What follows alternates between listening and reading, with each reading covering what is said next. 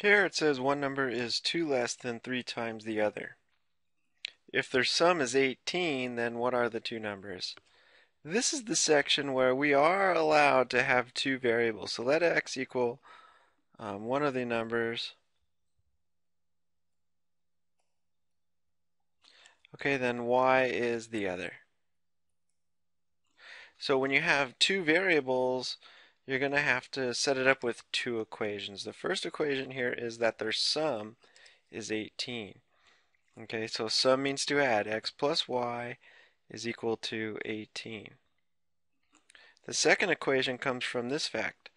One number is 2 less than 3 times the other. So one number is 2 less than 3 times the other. Okay, so here's the 2 less. 3 times the other minus 2. Alright, so here's our setup. The sum is 18, and one number is 2 less than 3 times the other.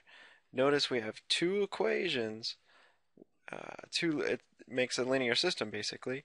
We could solve this any method we want, um, but we're certainly not going to choose the graphing method.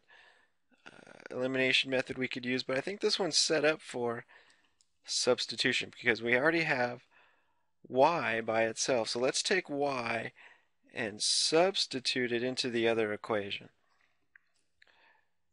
When I make that substitution step, I'll have x plus y, and it's supposed to equal 18, all right? We're going to substitute in 3x minus 2. The only variable left is x, so let's do the math. That leaves us with 4x minus 2 equals 18. Okay, adding 2 to both sides. 4x equals 20, and then dividing by 4 leaves us with the answer here, x equals 5. Okay, so that tells me one number is 5. Now it comes out to the other number. The other number, y, after we back substitute, is, well, 3 times x minus 2.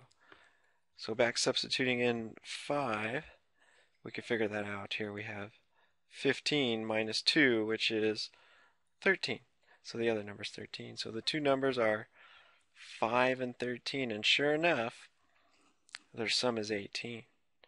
Um, don't just guess and check at these. You want to set this up using algebra because certainly the numbers could be a little bit more difficult to guess at.